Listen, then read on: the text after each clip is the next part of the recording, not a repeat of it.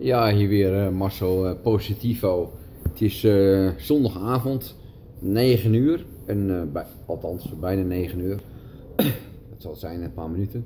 En morgen weer aan de slag. En vanavond wil ik het even, even hebben over Max Verstappen.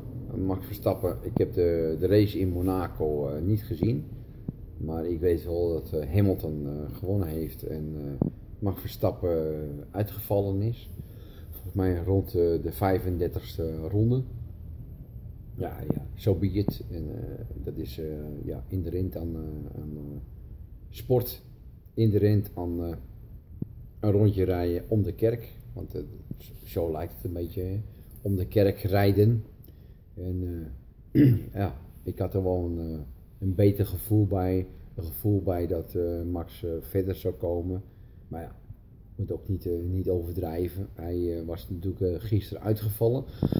en vandaag staat op de 21ste plaats. Dus ja, uitvallen kan natuurlijk altijd voorkomen. Dat heb je niet altijd in de hand. technisch mankement.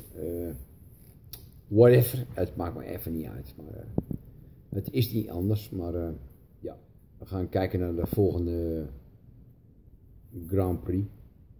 En uh, weet even niet waar die is, maar dat, even, dat is ook wat minder belangrijk. Max, dat is gewoon uh, de toekomst. Hamilton heeft uh, gewonnen. Hamilton hoort natuurlijk bij de top van de wereld. En Max, die gaat daarbij bij behoren. En ja, wij kijken gewoon naar de toekomst. En verder is het allemaal niet zo spannend en niet zo ingewikkeld. En, het, je maakt het zelf zo ingewikkeld als je zelf wil. Maar verder, ja, denk maar gaat over. Max, ik geloof in jou en uh, je komt uit een uh, goed nest. Uh, Jos Verstappen natuurlijk, je vader, heeft ook het nodige bereikt. Wel misschien wat minder, maar Max, jij gaat het echt redden. En verder, een beetje geluk, maar dat is niet, ja, dat je zegt van dat ga je het mee redden. Nee, je gaat het pas redden als je kwaliteit hebt. En Max, Jij hebt de kwaliteit.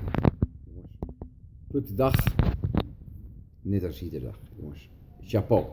Tot de, tot de next time. Hey, ciao.